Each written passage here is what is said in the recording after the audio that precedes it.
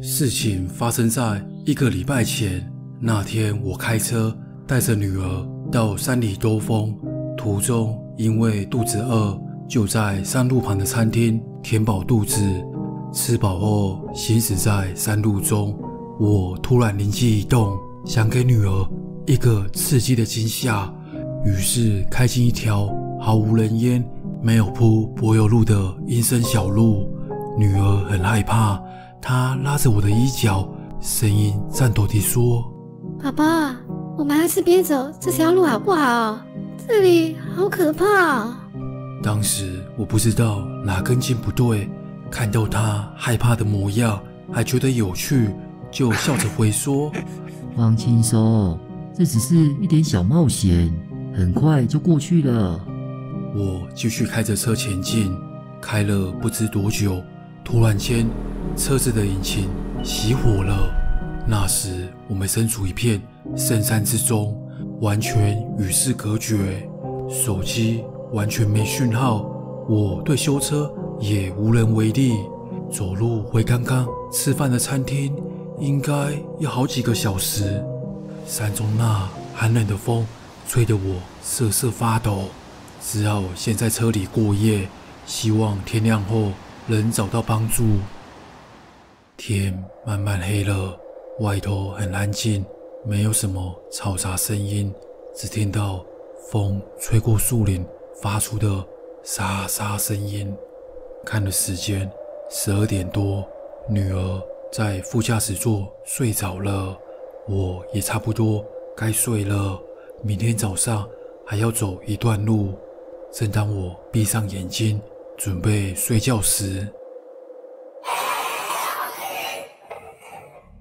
一开始我以为是听错，没放在心上，继续睡。但那声音越来越清晰，似乎正在靠近，让我不得不睁开眼睛查看。只见前方有一个白色的物体，正扭动着身体向车子靠近。它的外形似乎没有头，而且只有一条腿，因为它是一边单脚跳跃。一边手舞足蹈地靠近车子，恐惧感让我全身发冷。本来要大声尖叫，但我怕吵醒女儿，就尽力压抑自己的情绪，不发出任何声音。好险，那怪物只是路过，并没有注意到我们。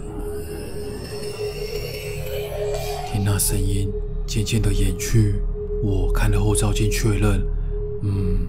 那怪物已经离开了，松了我一口气。转头看向女儿，心中的恐惧瞬间达到顶点。那怪物的脸整个紧贴在副驾驶窗户上，他的眼神十分的空洞。近距离一看，我才发现，虽然那个怪物没有头，但是在胸前却有张恐怖的脸。黑夜中，那张脸。露出那难以想象的邪恶笑容。当他看着车内的女儿时，我整个怒火中烧，对着窗外大吼：“你这混蛋！”我的吼声惊动了怪物，他瞬间消失在黑暗中。接着看到女儿坐了起来，是被我的声音吵醒了。本以为是我吓到了她，正准备道歉，她却开始。喃喃自语念着：“进入了，进入了，进入了，进进进进进进入了。”惨了！我脑中闪过不祥的预感，我急忙重新启动故障的车子。幸运地，这次竟然发动了。我没有犹豫，立刻倒车，沿着过来的路离开。我开得飞快，心里只有一个念头，就是到达有人烟的地方。在开了不知多久后，终于看到城市的灯光，让我稍微安心一下。但是不知什么时候，本来一路上女儿喃喃自语念着“进入了，进入了”，却变成了那怪物发出的声音，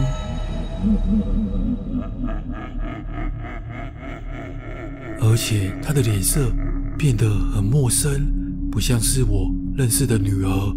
看到女儿变成这诡异情况，我心里整个发寒，这根本不可能带回家。于是我开车直奔附近的寺庙。虽然当时已经是深夜，但寺庙内还有一间房间亮着灯光，我猜那应该是住持的住处，就按下了门铃。不久后，一位模样像住持的人开门走了出来。做什么？这么晚了，找我有什么事？师傅，我女儿情况不太对劲，刚刚在山中遇到了怪物。住持一见到我女儿的模样，脸色顿时沉了下来，然后用一副遗憾的表情，开始帮女儿进行驱魔仪式。住持站在女儿背后，一边念着佛经，一边用力地拍打女儿的肩膀和背部。你的女儿被一种名字叫三世剑的邪灵附身，如果四十九天后她还未离开。你的女儿可能就永远无法恢复正常了。为了避免这情况，建议她暂时留在寺庙。我会用尽全力驱逐这个山中邪灵。因为女儿的情况，我打电话向老婆解释。老婆一开始自然是半信半疑，不过在住持的进一步解释后，她渐渐接受了这惊人的事实。后来，住持警告我说，如果我当时直接将女儿带回家，甚至连她的母亲也会被三支箭附身。听住持这样说，三支箭似乎是一种喜欢附身在女性身上的怪物，也因此在成功驱逐之前，老婆都不能跟女儿见面。那天之后，过了一个礼拜。女儿还留在寺庙中，虽然我每天都有过去探望，但是她那不自然的诡异笑容和她那奇怪眼神，已经让我感觉不到是以前熟悉的女儿了。